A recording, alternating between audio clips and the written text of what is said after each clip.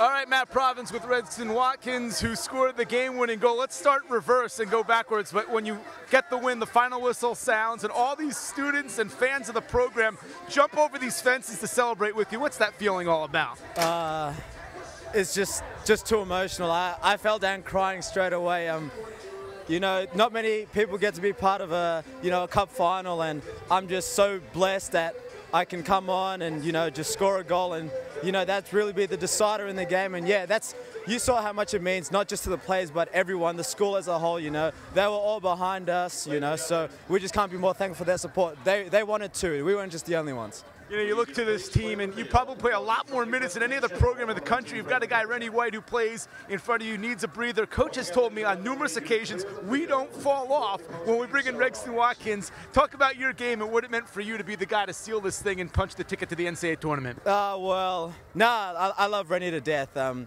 I couldn't be more grateful to be behind any other striker in the country. Um, it's actually funny. Uh, before the season, I was in church one day and I prayed to God and I said, Lord, let me score the goal in the championship game. And I don't know, God is good all the time, and you know, He always has what's best for me at heart. And yeah, it just came out today.